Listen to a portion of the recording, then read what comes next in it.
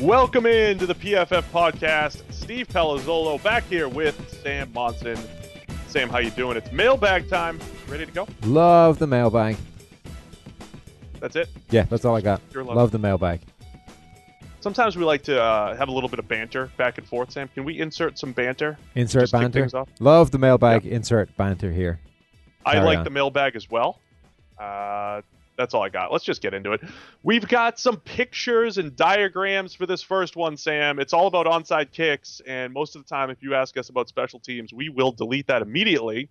But we did decide to answer this one. I don't know. We've This is- answered we've answered a lot of special teams questions in our mailbag. We seem to have actually a disproportionate amount of special teams fixing questions. Now that I think of it.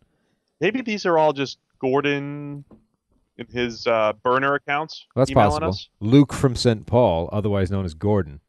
Otherwise, yeah, this from now on, every special teams question we will assume came from Gordon. Okay, Luke, we're on to your game out in St. Paul. But we essentially, add, uh, we need to add Minnesota, by the way. Now that we have St. Paul, to our uh, cross it off our map. There you go. Taylor's add. Minnesota. Taylor's done it. Add We're good. We're good. We're getting everywhere. That's basically like uh, another Canadian province. Anyway, uh, we are looking at onside kicks and how they're rarely successful. I'm, I'm not going to read the whole email. There's many paragraphs. Um, but Many he does cite the New England Patriots and their terrible onside kick attempt against the Miami Dolphins on Monday Night Football a couple weeks ago. And Sam, he essentially says, you know, it, it's a low success rate. There are some ugly kicks out there. Why not just kick a ball as hard as you can right at the defense Yes. have the ball bounce off of them? As long it doesn't even have to go 10 yards in theory. Just bounce it off of them. Maybe it bounces back to the team, and then you can recover it why is this not an implemented strategy in football? Well, yeah. The interesting thing about this is that you thought it was a good idea. I, I'll reveal my thoughts when it's time. I think it's a pretty good idea. I think it's a good. Uh, it's. I think it's a good change of pace. I'm not saying do it every time. I'm. I think you're underestimating exactly how hard it is to hit a stationary human being ten yards away from the ball you're trying to drill at his face. Yeah, but the the, the point is here. I, I wish I had onside kick success rate handy, but it's what 10% maybe. Yes.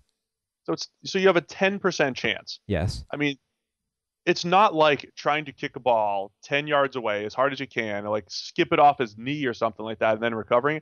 It's not like that is that much more difficult than the current way of trying to recover onside kicks, which is trickeration or the proper bounce or luck or whatever it is. I think it probably is. I, I think teams are pretty good now at at least getting the right type of kick that gives you the chance of recovering it if all goes well. Now, where the percentage comes is that just getting from that point is the easy part. Like having everything else go right in order for you to actually recover the thing is where you get into more trouble. Like you are, I think, reducing the percentage of the the difficult or the easy thing being successful and still having the problem of actually recovering it once that happens.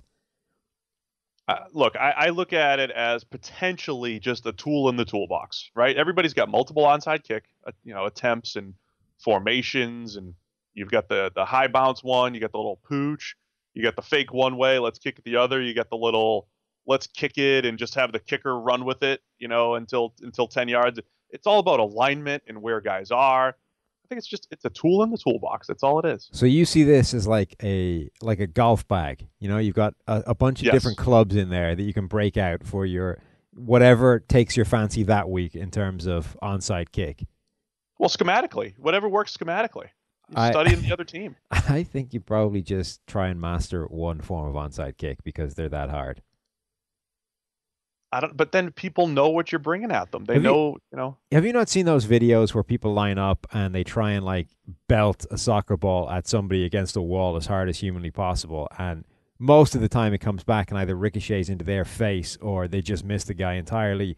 It's pretty hard to hit hit a hit a human being from 10 yards away with a ball is all I'm saying. Yeah. Well, it's here's the deal. The premise of the question was it can't be any worse than New England's onside kick attempt on Monday Night Football. well, no, And that was pitiful. based off of that premise. I, I agree. It would have been at least a better Yeah. option. So Based on that being your other option, it's definitely better, but that All right. probably shouldn't have ever been an option for anybody. All right, we've we've exhausted that one enough. Uh, enough onside kick stuff. Just uh, win the game without having to uh, resort to an onside kick would be my suggestion. Anyway, we've got uh, St- Sam and Steve, big fan of the podcast. You're two great hosts. Originally, Sam was the clear cut favorite, but since Steve has cut the baseball references out of his podcasting game, he's now a narrow second. I don't like where this is going. That, when did that happen, by the way, that you cut them out? I must have missed that. so now, in recent weeks, because you've threatened me, I, I, I merely tease them. I say, well, I have a story, but I can't tell it. You know, maybe maybe I'll put it on like an Instagram story or something off the air where it doesn't piss you off as much. You that know, would be great if you could do that. I'm sure. Well, everybody would love it. I'm Everybody sure. They're just they just they're relatable. You know. Yeah. And uh, just so you know, I played professionally, so you know it's just a reminder that I was once an athlete. Sort Uh, of. so there's there's a lot to this question as well. I don't want to get into the specifics, but the basic gist of it is uh, this is uh, who wrote this here. This is Chase. Is it Chase? Uh, it's from uh, Chase from Georgia. So we could throw Georgia on the map. He said.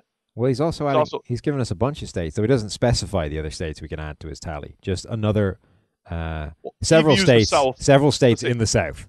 Right. He views the South the same way I do. He just says several states in the South. Just you know, I'm in that big circle that you guys have, that you guys have gotten emails from. Okay, so just Um, another tally for the South as a whole. I Right. see. I see. So his question or his suggestion is that the Browns hire Peyton Manning, and he does say the Browns just go YOLO and sign Peyton Manning as their head coach starting next season, and it's because he's a great football mind and he knows how to read defenses and he can mentor quarterbacks and all these different things that he's listing. What are your thoughts on this, Sam? Do you think this would be a good move to hire Peyton Manning as a head coach? Well, I guess the initial thing is I don't know if Peyton Manning has any interest in being a coach of any description. It sounds like he's more into ownership or GMing a team rather than taking the nitty gritty of the head coaching part. I think he's got ideas above that at this point. So I think that's your first stumbling block. Um, as for how he'd actually do if he was a head coach, it's an interesting question because a lot of the best head coaches aren't really the kind of the nitty gritty play calling types. They're the ones that can just oversee everything and make it all come together. Peyton Manning, it feels like if he has an advantage in, in any area, it would be specifically knowing how to play call and how to scheme an offense and that kind of stuff. Um, so he would be a very much hands on one. And then you've got how well is how good is he at essentially conveying an offense to every to somebody else and to somebody That's else That's my biggest question, Sam. That's that's why I don't think he'd necessarily be good. and to You somebody else that isn't as good at it as op- at operating it as he was, which would be a big thing. Right. Like he was great because he would get to the line of scrimmage and he didn't even like run a complicated offense. He just had an answer to everything. Yeah. Right. He could just look at the defense and say, I know when you give me this look, you're playing this coverage 48% of the time, and I'm going to run the play that beats that coverage. And here we go. And you, I, I don't know how easy it is to, to teach that. And, and then it's all about his recall, right? Like everybody's Yeah. talked about what he can recall. And it's, you know, 12 years ago, he remembers this one exotic blitz that a team ran at him. You, it's tough to teach. You can't teach, you know, what's in your computer brain. It's so, his it's his recall and his ability to make instant decisions on the fly. I I mean there's this there's a section of great athletes that make horrendous coaches because they can't understand why the people they're coaching can't just be better. Right, Um, and it's happened across like that's why Michael Jordan was a terrible basketball coach. Roy Keane. Wayne Gretzky too, right? I think for Yeah. in hockey, like the two greatest I'll in defer their to that sport. to, to you on Yeah. that one. But Wayne Gretzky, if you say, um, I'm sure Steve's right. He's never led me That's, astray that's before. hockey, Sam. That's I know, I know that. I just don't know enough about him to talk about it. Um, Roy Keane, soccer, same deal. Was Ah, yeah. great, Roy was great bad. player, terrible coach. Because his thing is, you get there, you're telling them what to do. It's simple. I could do it easily. How come you guys can't just be better at this? And they just Ted get Williams frustrated. in baseball, Sam. Yeah, Ted Williams in baseball wasn't a good hitting coach, but the greatest hitter of all time. Well, there you go. Um, and Jordan, you know, came back was like, basically, if you guys don't stop being or don't start being better at this, I'm just going to come back and do it myself. And he did, and he was better than them at like 40 odd years old or whatever he, was. It So was ridiculous. I, I kind it's a slightly different dynamic, I think, because Manning's greatness was so very cerebral. But I think you might end up in exactly the same situation because you just he would never understand why other people can't process that. Yeah, uh, look, that's my answer. That's essentially my answer. You know, Well, there you go. Bill, Belichick's a great coach, and it wasn't necessarily because he was the best player. It's just not this direct correlation between greatness as a player and greatness as a coach, or even as uh, a front office personnel person. You know, yeah. it's it's it's a completely different dynamic. You're just doing different things. So he probably wouldn't be very good at it, and he doesn't want to do it. Other than that, it's a perfect plan. All right, perfect. Uh, let's move on. We've got uh, a question from Travis. It's pretty simple. Why does Jamie Collins suck now? That is the Browns linebacker, former New England Patriot. Uh, grades have uh, essentially fallen off the table the last couple years. Uh, New England traded him last year. Cleveland used him more as a as an edge rusher rather than a traditional linebacker. But we're talking about a guy who in 2014 88.8 grade, 2015 89.2 grade. Those grades all a part of PFF Edge, of course. Uh, and then last year drops to 47.6 with a bit of a position change, more of a more of an edge rusher. But this year back to a traditional linebacker role and a 35.9. That is 86th among 91 qualifying linebackers. You have anything here, Sam, or? Uh, yeah, well, our uh, our esteemed colleague and longtime Brown sufferer, um, John Kosko, pulled out some numbers about Collins and his his blitz percentage stuff. Essentially, his the data on his pass rushing and his blitz stuff. Um, and the Browns are definitely using him in a different way that the Patriots did, even in terms of a pass rusher they're using him as we said, or as you said, as more of a, an edge rusher as opposed to a guy that be, that become forms part of the pass rush as a blitzer up the A gap or the B gap inside more. Um, and it turns out, looking from those numbers, that he's never been great as an edge rushing threat. All of his or his best production has come f- in the middle as more of a, a blitzer um, again in those fashions. So th- I think the Browns in that area are using him differently and in an area that he's never been particularly good at. What I don't have a good answer for is why he can't cover anybody anymore. Yeah, so it's got to be something more. I, well, I think a big part of it is a little bit more schematic. I think he's a bit. I think he's generally a better zone coverage player. But when he played zone in New England, they didn't play a ton of zone with him in New England. He actually played a lot more man.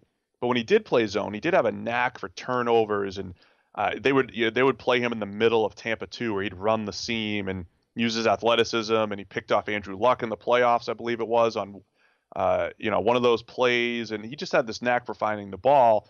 He hasn't necessarily played that uh, middle linebacker position though.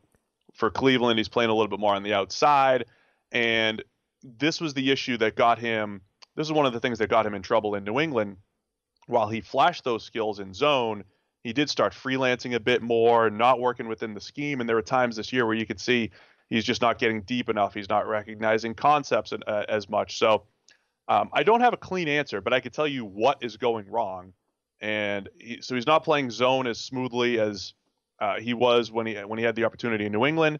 Um, and then when when the Patriots used him in man coverage, overall he was a solid man guy. He would he'd get lost against a running back down the field every now and again, but um, yeah, I just I just think there's a little bit of not playing to his strengths, and it, I think there's just a lot of coaching at play too. You you're coming from a system where New England is known for putting guys in the best position to succeed, and you're going to Cleveland where, you know, guys are they're not winning any games, Sam. So maybe the coaching just isn't as good as it is in New England. That's uh that's all I'll say on that one. Yeah, there was some good stuff. There was some good stuff by John uh, Kosko though that he pulled out uh, when uh, when Collins was in New England, he blitzed through the A gap 35% of the time. And here in Cleveland, so 35%, he's only in, in the A gap, so that's right over the center. And what he would do often in New England, be right over the center, and he would essentially get isolated on a running back quite a bit and use his athleticism. And he could beat a running back. I mean, he was an actual edge rusher in college and had 10 sacks his last year. So he could beat running backs one on one and he's only done that half as much in Cleveland, the A gap blitz, only uh, 20.8% of the time. Um, so it's little things like that where even that grade that he got in New England, those good grades, a lot of it was him as a pass rusher or as a blitzer, right? It's get you know getting that uh, either an unlo- unblocked pressure or an isolated isolation on a running back where he could do a good job. Yep, I think that makes some sense. I think that's sufficient? Yep, covered it. Still a good athlete and uh, has a chance to turn things around.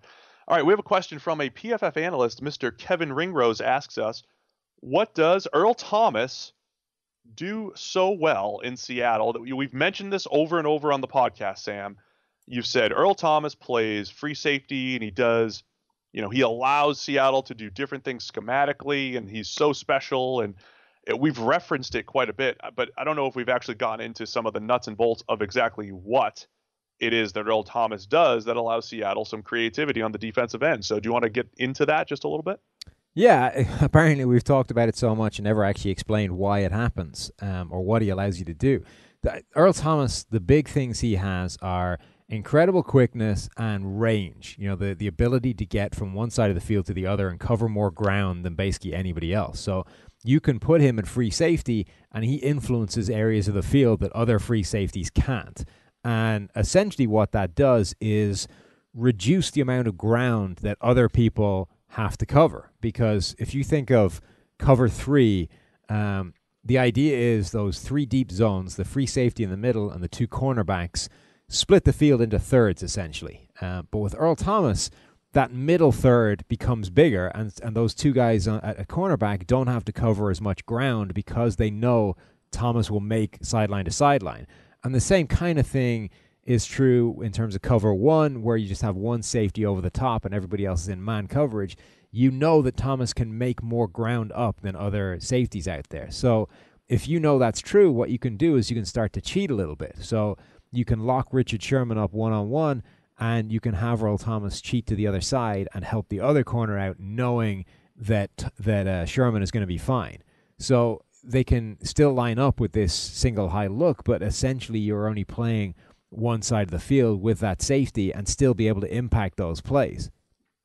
Yeah, so when you when you draw up cover three on the chalkboard and you're just like, all right, this is your basic cover three, you you stick the free safety directly in the middle of the field, right? Yeah. So when what you're saying about Thomas, when he leans one way, their common way of playing cover three is Kam Chancellor, the guy who uh, on the chalkboard again is supposed to be in the box.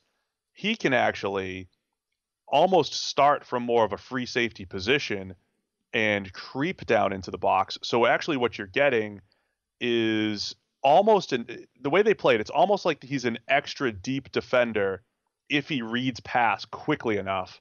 And so now it's cover three, but you've really got four deep defenders, and you've got a little bit more flexibility with what Kam Chancellor can do as well. But then if it's a run, he could just jump up, play his run responsibility, and it's just it's your normal cover three and you're fine. So um, I think that's all it is, man. It's just it's changing spacing, it's changing uh, help and leverage. It's it's saying, hey, I can trust Richard Sherman on one side a little bit more than I can trust whoever the number two is on the other side. It's this combination of all these different things.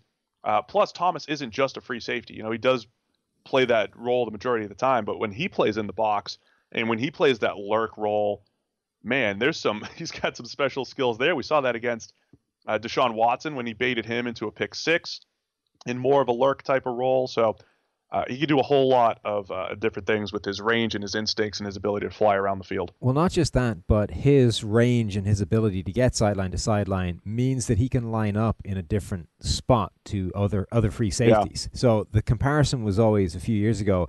Jairus Byrd in Buffalo. Um, you know, he had some of that deep free safety, uh, ball hawking kind of skills and had a huge number of picks and impact plays for the Bills. But if you looked on all 22 film where they would start from, where Earl Thomas versus Jairus Byrd would start from, Byrd was five yards, if not more, further back from the line of scrimmage at the snap because that's how he would cheat that range. So he would start off deeper, which enable gave him more time to make sideline to sideline on those deeper passes. But what that does is it obviously takes you away from the line of scrimmage and means you can't impact anything underneath you. Thomas is so fast and has such good range that he can line up closer to the line of scrimmage and still impact those plays in front of him and come up quickly against the run and still make those sideline to sideline plays that Byrd was able to because he's just faster and has better range. Um, and the other thing it does is it means you can screw around with landmarks a little bit more. So you know, a lot of quarterback reads are based on the safeties, landmarks, and where those guys are dropping to immediately after the snap. Thomas is able to cheat a little bit with that and, and either adjust his landmarks, move to a different place, um, and, and disguise things a little bit more because he can still make it to a different part. So he can start to look like uh, a quarter safety despite not actually playing there because he'll be able to get to the other side of the field um, and fulfill the role that he would he was supposed to have as a, a single high free safety. So it's it's a lot of things full, uh, put together that Thomas allows that defense to do. Yeah, I no, I agree, man. I think that's uh, a lot of good stuff there, and uh, yeah, good breakdown and a good question from uh, Mr. Kevin Ringrose, fellow PFF analyst and uh, listener of the pod, apparently, which Yeah. is great. Quick reminder that this episode is brought to you by PredictionMachine.com. Prediction Machine, a new generation in sports analytics where they play the game 50,000 times before they're actually played. Make better picks with proven data driven analysis. Subscribe at PredictionMachine.com today and earn a $5 credit that can be used towards the purchase of any package. All right, so we have what, two questions here on the Pro Bowl to get yeah, into? well, we now we've hit the Pro Bowl uh, section of today's podcast. So I the, tried to avoid it. I the, don't, pro, the Pro like Bowls it. are great, sort of. Um, Pro Bowl rosters were announced last night, which obviously leads to a good portion of my night and day today just being frustrated at the idiocy of the Pro Bowl system and the players that get selected.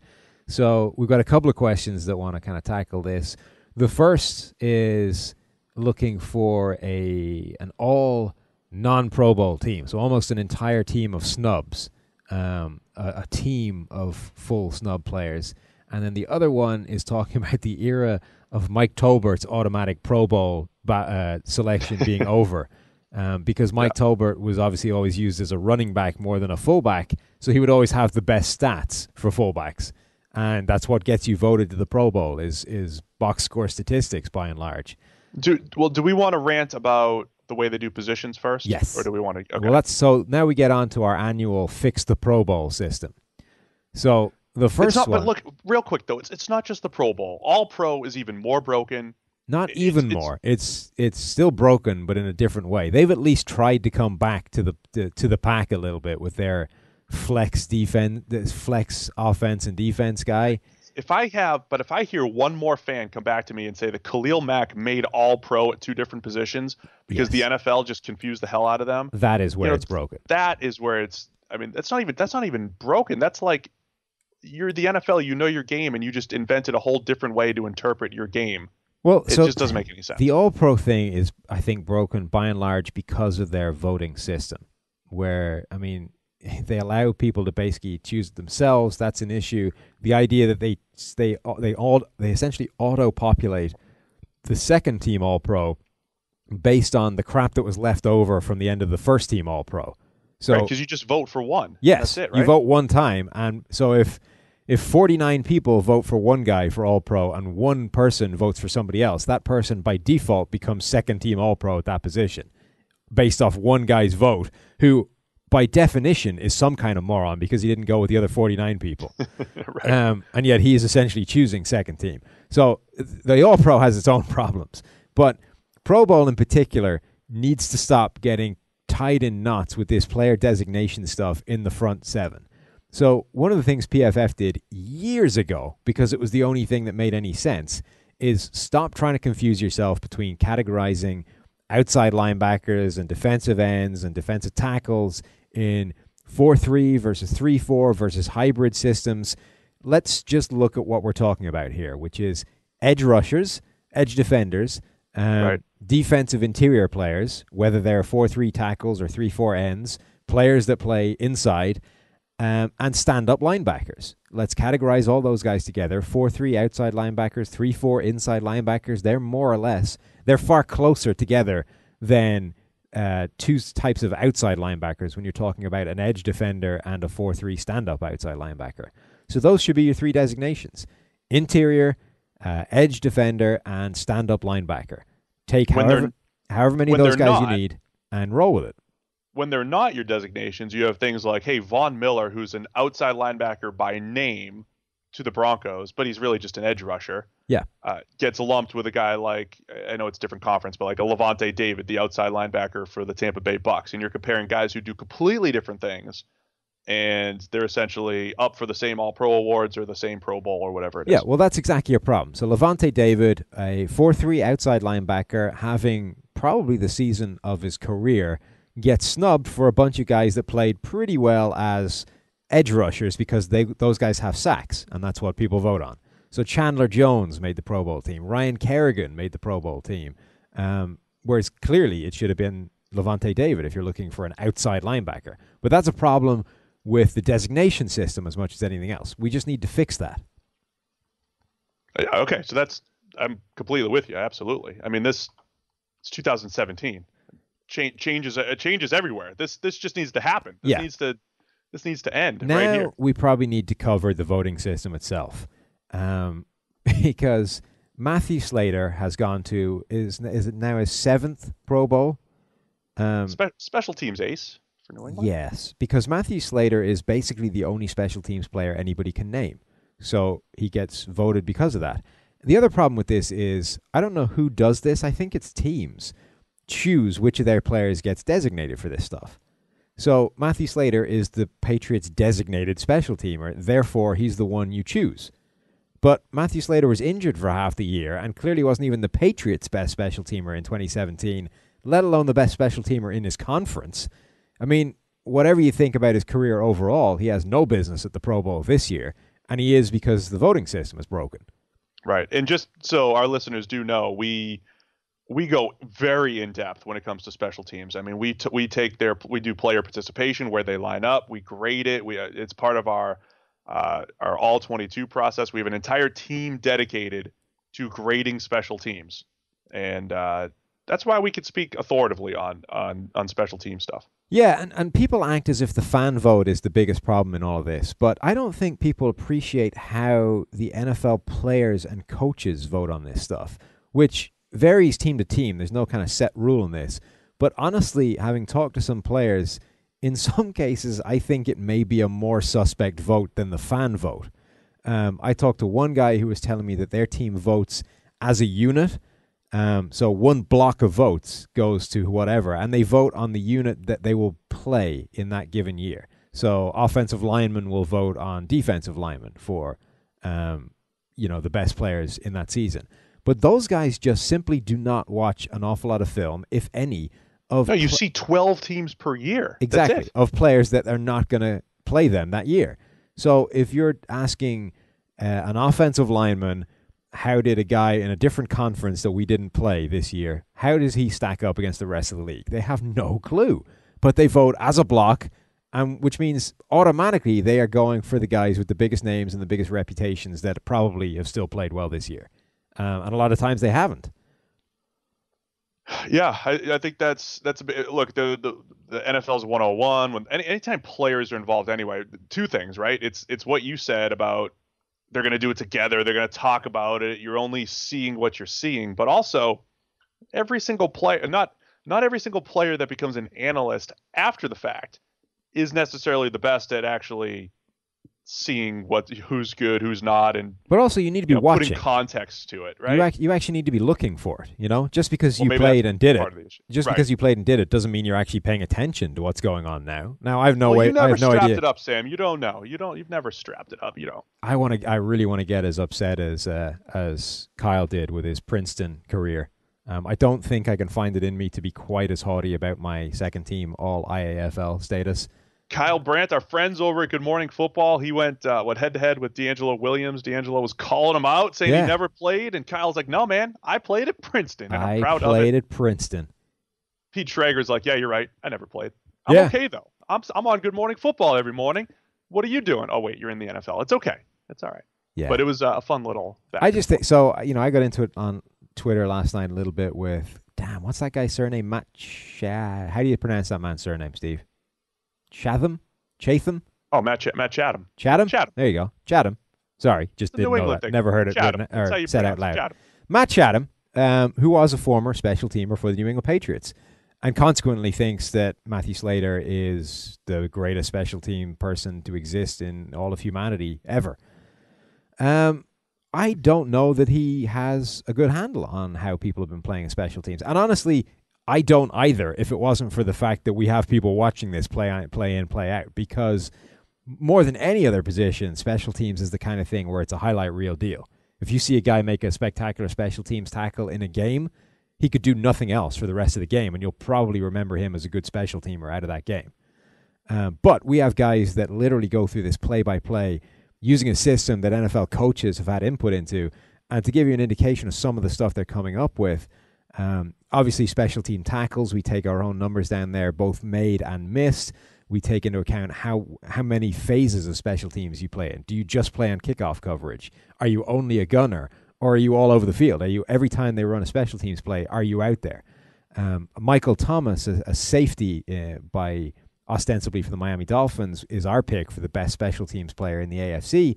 We track stuff like he has a 27 win percent, 27% win rate as a vice, and those are the guys that try and block gunners on on the punt team, which ranks fifth in the league. So you know we're tracking this stuff in absolute minute detail versus just looking at you know this guy made a few special teams tackles and, everyone thinks he's pretty good, but honestly we can't tell you uh, based against his peers how that ranks.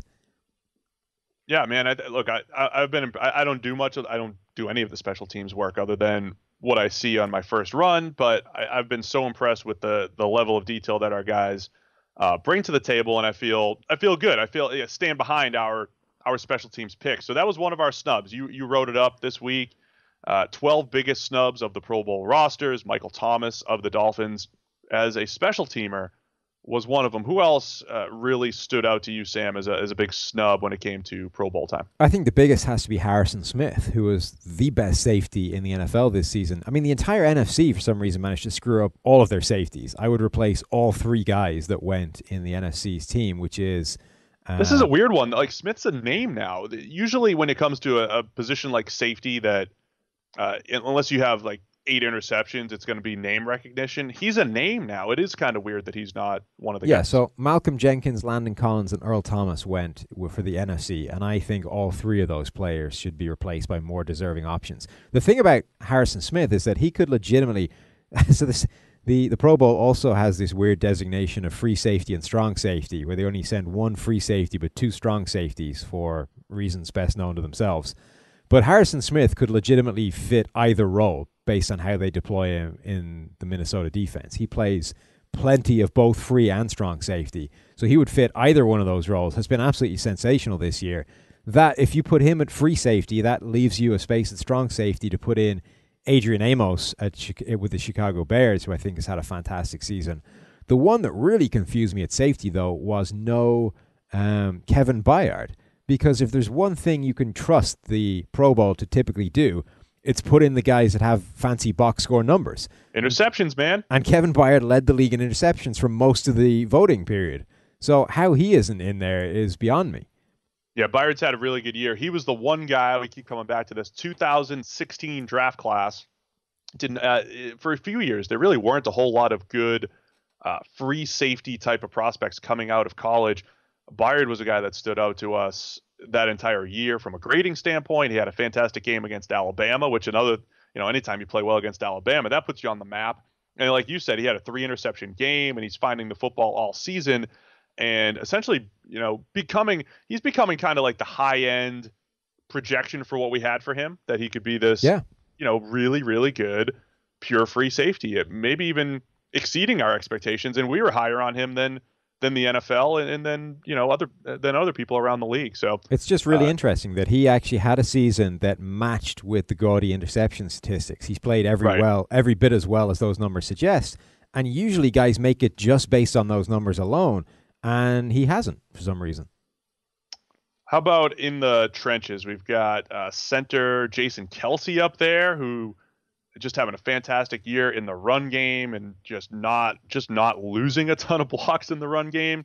He looks like a my favorite thing is watching him pull. I know some of our guys have been posting some videos online of him blocking recently to kind of get some of his hype up. He really looks like a linebacker when he's on the move as a as a pulling center in their outside zone scheme and uh, the number one run block win percentage among all centers this year and the top run block grade this year. Yeah, his run block grade is 99.7, and this scale only goes to 99.9. So that gives you some indication of how well Jason Kelce is playing.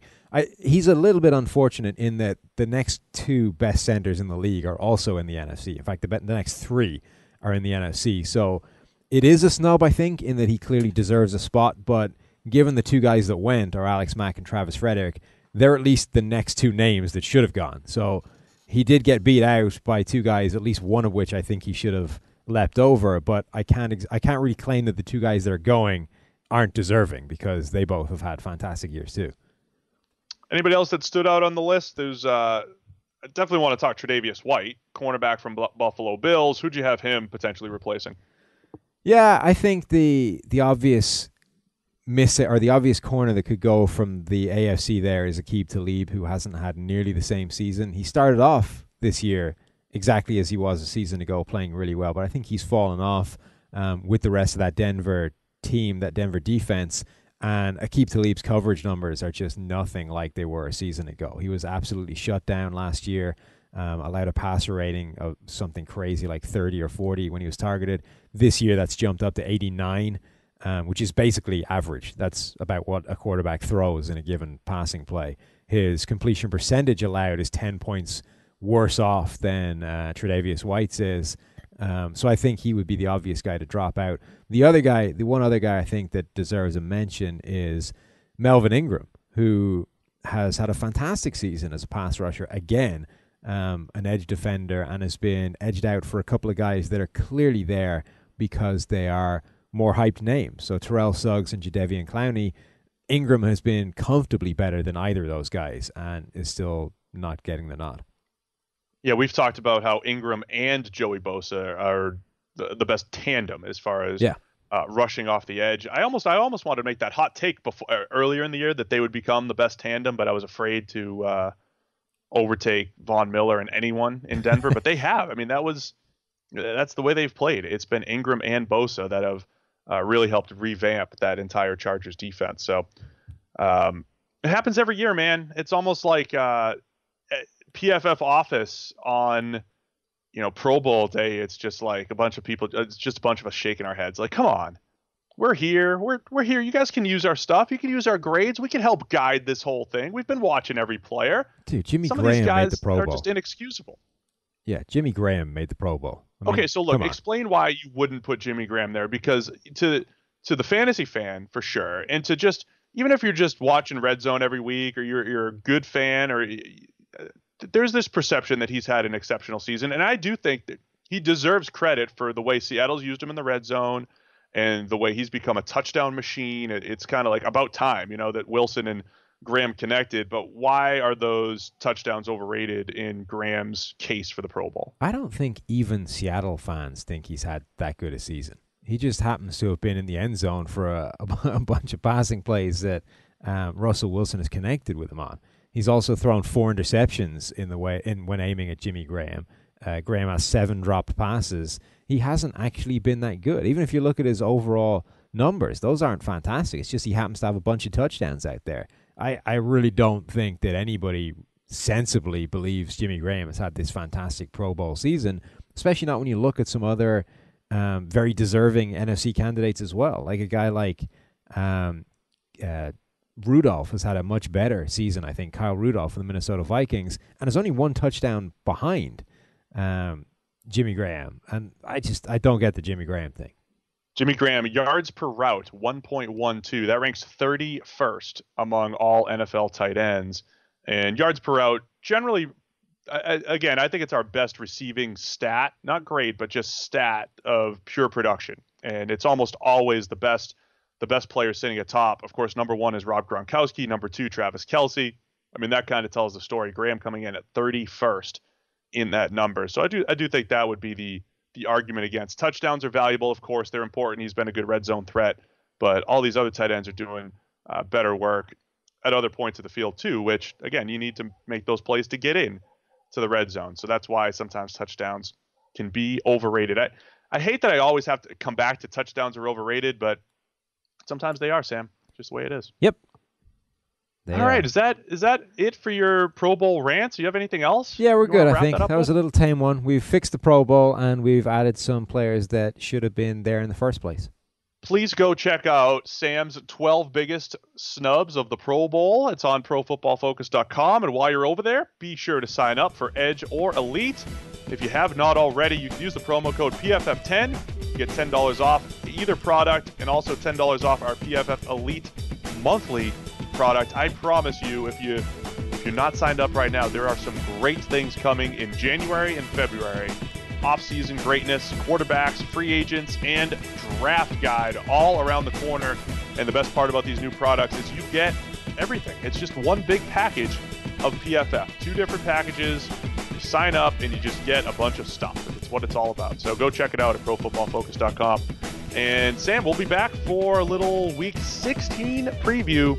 Hopefully, we'll grab Mike Renner this time, see if he's actually going to work this uh, this week and preview with us. But tune in for that. Hit the subscribe button, and we'll talk to you guys next time.